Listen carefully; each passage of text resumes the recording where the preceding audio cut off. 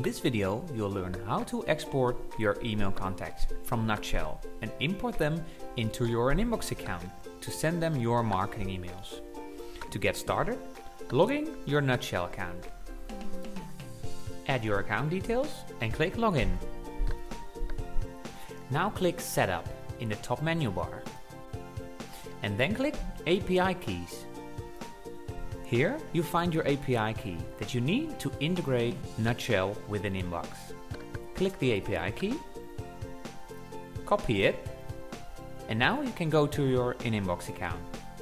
In your InInbox account, click the Integrations tab in the top menu bar and then scroll down to Nutshell. Click the Connect button, fill in your email address, and paste your API key. Click Submit and you're connected.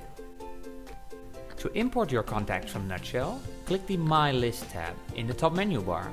Then you click Add Contacts, you click Import, and then you click the Nutshell button. Click OK. Simply label your data. Click Next Step. Choose a list where you want to add your contacts to, and click Submit. And you're done. We hope you like this integration to grow your business. Have fun with it!